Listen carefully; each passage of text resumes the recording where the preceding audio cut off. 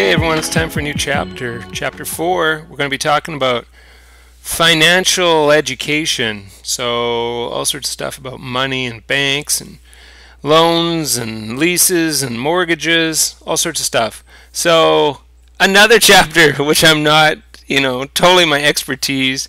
Uh, probably a little more comfortable than the last chapter with all the perspective drawings and stuff. But I don't purport to be a, a finance whiz. Uh, so, you know, it's interesting stuff, and I'm happy to brush up on this um, and teach us all a few things, including myself. So we're going to start with financial institutions. What are we talking about with financial institutions? It's a company that's engaged in the business of financial and monetary transactions. So that could include deposits. Now we're going to be talking about a lot of these words over the next few days, so I won't define them too specifically here. You probably know a lot of them anyway. Deposits, putting money into the institution. Loans, getting money from the institution to help you buy things, right? Then you have to pay it back later. Investments, putting money in the bank and then hoping to make more money or into the institution. The bank's just one example of a financial institution. Currency exchange, right? You got your Canadian cash and you're going to Mexico, so you want to go and change it into uh, Mexican currency. So financial institution can do those sorts of things. And there's lots of other things they can do as well. So I thought maybe the first thing you should do is we've got two words sitting here that I was kind of a little bit unsure of. The difference between finance and money. So basically, money is part of finance. So money is like the dollars and cents in your pocket, right? You've got that $10 in your pocket, that's money. We all know that. Finance includes money, but it's also things like loans and checks and credits, all the stuff you can do with uh, money. Um, right? You can lend it out, you can borrow it, you can write checks, all that stuff includes finance. And that's what this chapter is all about, is finance. So we're going to look at a whole bunch of different financial institutions. I think I've got eight or nine of them. The first one by far the most common one. Many people probably go through their whole life and only use this one. It's the banks, full service banks. And the reason they're called full service banks is just that. They provide pretty well every service you can think of. So these other institutions, these other financial institutions, I'm going to mention some uh, functions that they have, but the banks probably do every single one of these uh, those functions as well. So it's kind of like your one-stop shop, but there are some advantages go going to other places besides banks sometimes. So first of all, I'll start off by telling you the big five Canadian banks. Pause the video, see if you can name them all. You know a few, right? Royal Bank, TD, CIBC, Bank of Montreal. What's the last one? Scotiabank, I think. TD, Royal Bank, that's it. Okay, there you go. Those are the big five banks in Canada. And they have a global presence, right? You go different countries, you'll find these banks there as well. Um, so they're licensed by the government. You and I can't just go and start a bank tomorrow. be nice, but we can't do that. Uh, you got to get a special licensing by the government. And the way they do, they, the reason they do this is to ensure market transparency. You know what that means? Market transparency. That means everything's out in the open. There's nothing secretive going on. It's not like um, you might have heard of offshore banks. This is where, you know, in the movies, the criminals, the drug dealers is where they go and uh, put all their money and everything. And that's because there's not so much transparency at banks like that. Uh, and so they can get away with doing some things that are bordering on the illegal or maybe completely illegal. But for a bank in Canada, it's got to be licensed and it's got to be very clear what's happening. They've got to count for all the money coming in, all the money going out. Um, there should be nothing, no surprises when you put your money in the bank. You shouldn't be surprised a few months or years later by what's going on at that bank. Okay, they provide many services. So this is just some of them. They provide checking and savings accounts. We'll definitely be talking about those next day, the day uh, the difference between checkings and savings accounts. Uh, ATM services, right? That's the automatic banking, online banking, right? This is how most people do their banking now, probably, at least people your age and probably my age or younger, do a lot of online banking. We don't actually walk into the bank very much anymore. Uh, currency exchange, already talked about that. Bill payments, if I pay my MasterCard bill, I don't really deal with MasterCard much at all. I deal with the bank. Safety deposit box, uh, if you have you know some family heirlooms, uh, jewels, again, the movies, where do the gangsters take their cash and their weapons and stuff? They take them into the safety deposit box. I'm not saying that's why they're there, the safety deposit box. I'm just giving you an example of where you might have seen them before. But this is a place where you can put things and, and leave it there secure in the bank. Uh, it's kind of like a safe in your house, except it's in the bank, even more secure. Uh, investments, again, we'll be talking about these things, RRSPs, GICs, term deposits. We'll define and talk about all those things uh, later on this chapter. And loans, right? You take money from the bank and you agree to pay it back later with some interest. Mortgages, which is just a loan where you buy a house. And lines of credit, where you get a usually big chunk of cash and uh, you agree to pay it back.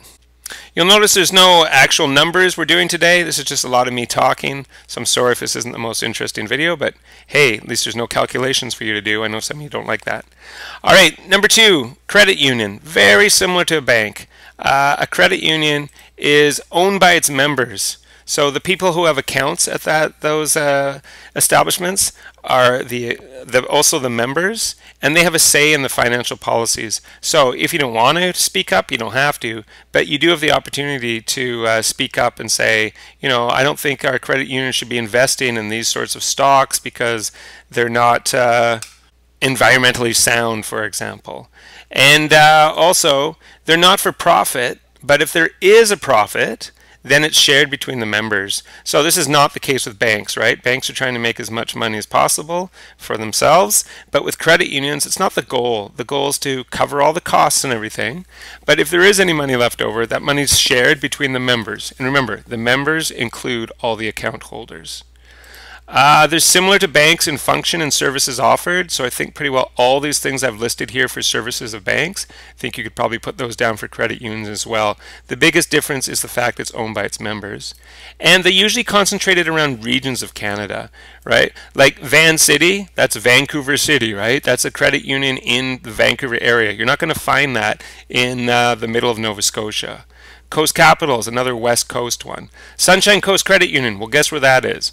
Right? If I drive down the highway near where I live on the Sunshine Coast, I see Sunshine Coast Credit Union. You probably don't see that in the west end of Vancouver.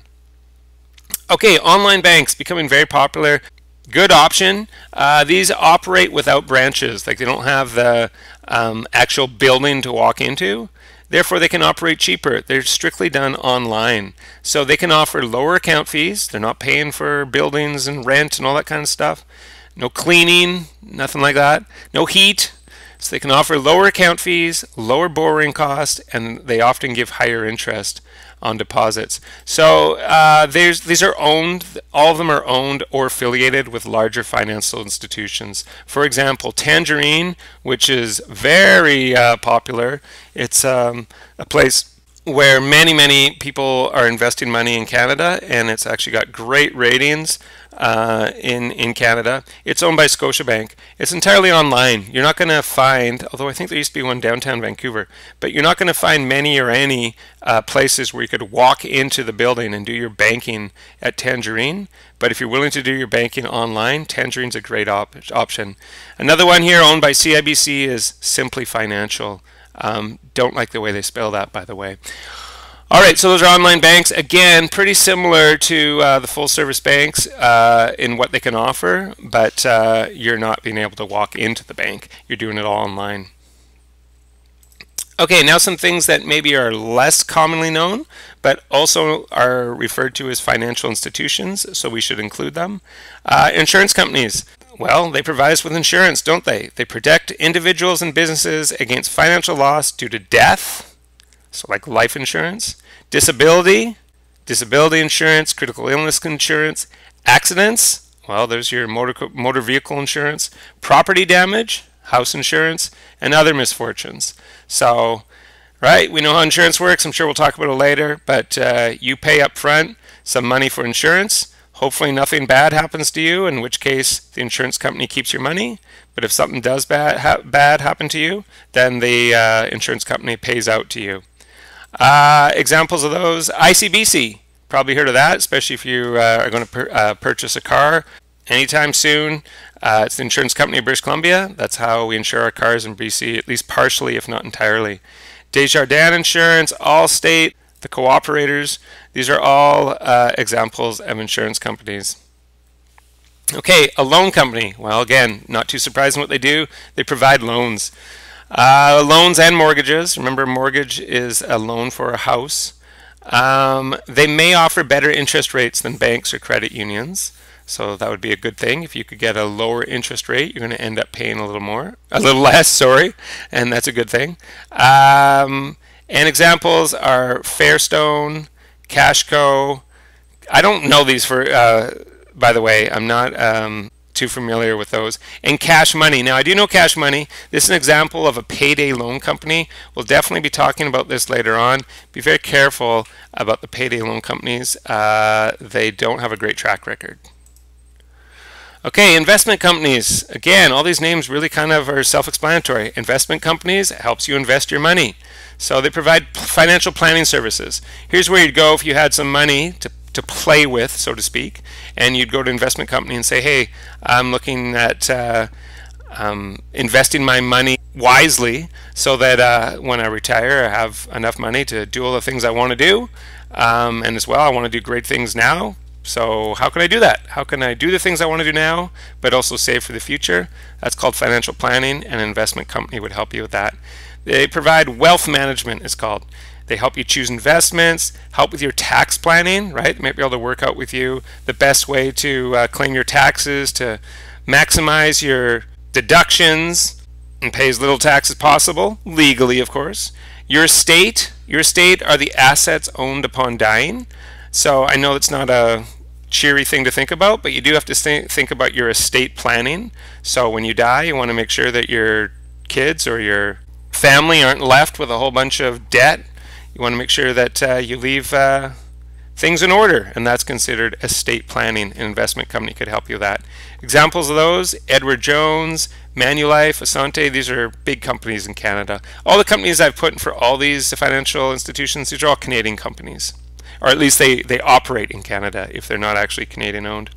Okay, a trust company. This one's not so obvious. A trust company manages and invests assets for an individual, company, estate, or trust.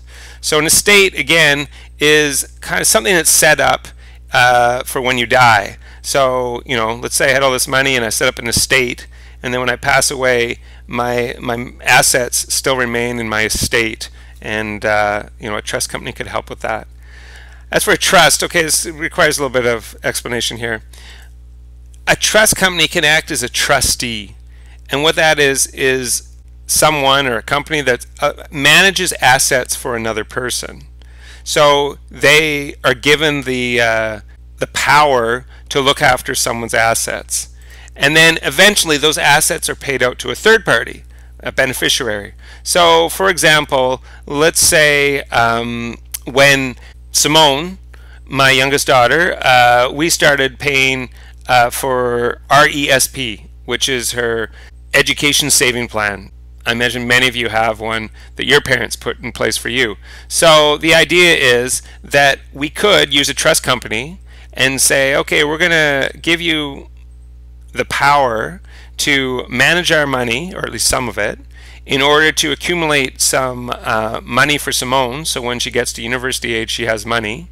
So the trustee is the trust company. And Simone would be the beneficiary. When she gets to a certain age, uh, I guess when she starts university, the trust company who would manage the money would then pay out some of that money um, so that Simone has money to go to university. So the way that works is the trust company is going to take a percentage of the money that uh, is given to Simone, or they might just take a certain amount year to year as, uh, as we go along. Um, example of that, Royal Trust, Canada Trust, National Trust, these are all trust companies. Brokerage firms. A brokerage firm assists individuals and institutions in buying and selling securities. Securities are stocks and bonds and mutual funds. Again, we'll talk about this. But you know, you've seen this in the movie, the stock exchange, selling your stocks, buying them low, selling them high. A stockbroker would work for a brokerage firm. And uh, they take a percentage again of the money earned by anyone playing the stock market. So Questrade apparently is the number one in Canada, number one rated. Again, I don't, I'm not familiar with these. Wealthsimple I have heard of, and Qtrade is another one I found. And finally, mortgage company. I think this one's obvious. They could provide us with mortgages. Now, most people go to a bank probably for a mortgage or a loan company, but you can also use a mortgage company. Often people will use a mortgage company if the bank won't give them a, mor a mortgage. They might go to the bank. Bank looks at all your income, your debts, and they might say, you know what, you're too much of a risk. We're not going to provide you with a mortgage. So this is another option for people, which is nice. The unfortunate thing is it's often at a higher interest rate, and uh, you have to be careful because if you uh, fail to pay off these mortgage companies, some of them can be pretty ruthless. Uh, examples, Home Trust and Meridian are a couple names I've found for Canada. All right, so that is an introduction to some of the main financial institutions. There might be a few other institutions that fit the bill, but these are the nine main ones that uh, I found from my little bit of research. So I hope that makes sense. And next day we'll focus in, I would imagine, uh, on these first three. The full service banks, the credit unions, and the online banks. They all kind of provide the same thing, and we'll be looking at those three. Okay, we'll talk to you then. Bye.